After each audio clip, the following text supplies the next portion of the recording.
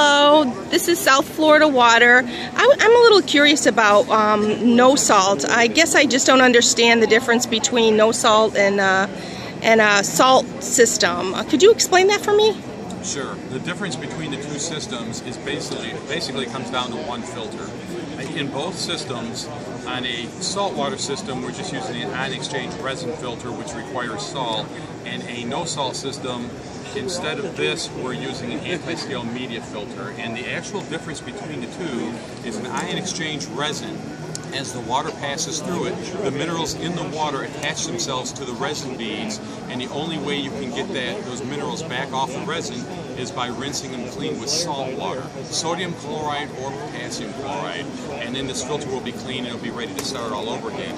In a no-salt system, we use these anti-scale crystal media, and what happens is the water passes through it, and these crystals will slice and dice the minerals repeatedly over and over again, making the minerals several thousand times smaller than what they started out. These minerals are now stable, and they're called nanocrystals. Nanocrystals, by being stable, no longer have the ability to attach themselves to your shower doors, your faucets, your dishes, and there's several benefits that come along with that. You're, you're keeping the minerals in the water, and yet they're no longer able to ruin your things. Uh, now, will I still get that smooth, silky feeling when I'm in the shower with a no-salt system? Uh, the no-salt system Unlike a salt system gives you that soft, slippery feeling in the shower, no salt system doesn't do that. Uh, there's no sodium being used, and therefore you're not going to get that soft, slippery feeling in the shower.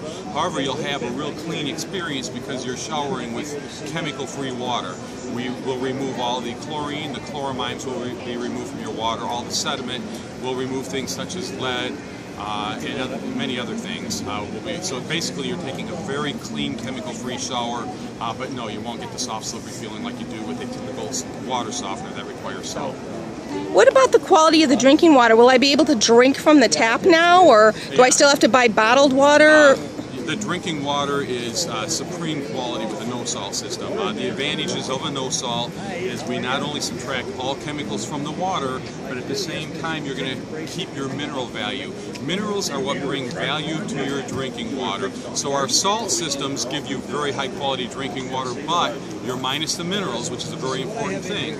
Uh, this no salt system, you're going to retain all the minerals while the minerals still can't ruin your things. They're not going to stick to your shower doors and your dishes, but yet you're going to keep those minerals called nanocrystals, and they're more easily ingested into the body. Hmm. Okay. Um, these systems, uh, where, where, are they made? Are they made in the United States? Uh, yes. As a matter of fact, our systems are made here in Tampa on Adamo uh, by a 53-year-old uh, manufacturing facility. Uh, they actually manufacture for us in five states. Uh, we have an additional water company, our sister company, Clean Water Machines. Uh, we ship to 49 states, and these are all uh, here in Tampa. We manufacture locally, but we manufacture in five other states as well. If I if I were to try to reach you, where where how can I reach you? we have five facilities here in the state of Florida. We're an A-plus rated company. We've been in business 23 years. And uh, so we're pretty easy to get a hold of. Uh, we have a phenomenal website, uh, sflwater.com, and it's the, it's the best water website in the industry. Well, well, thank you. Again, this is South Florida Water.